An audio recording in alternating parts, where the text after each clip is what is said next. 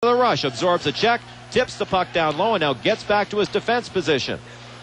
Charles Wells is unable to keep it in at the Moose Jaw line, and now loses the puck at the Prince Albert line.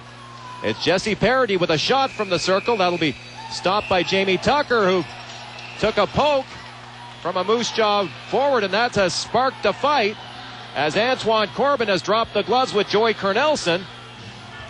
Tucker put, took a bit of a poke at Kornelsen, who jabbed at Tucker in return, and Corbin jumped in there, and they've had quite a spirited tilt with Corbin ending up on top of the Moose Jaw forward. Well, Antoine Corbin comes to the aid of his goaltender, and this is the second time that we've we've had Moose Jaw go go in on Jamie Tucker, and uh, Kornelsen uh, faces the wrath of Ant- big Antoine Corbin, who steps in, and uh, Kornelsen still having some extra words with uh, with Jamie Tucker as he's leaving, but uh, good job here by Corbin. He grabs a hold of Kornelsen immediately and uh, and takes charge of this situation.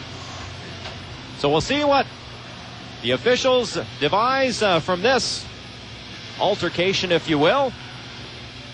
Well, uh, Jamie Tucker, again, uh, he was very animated with his conversation with uh, referee Howe uh, probably a minute earlier, and then uh, we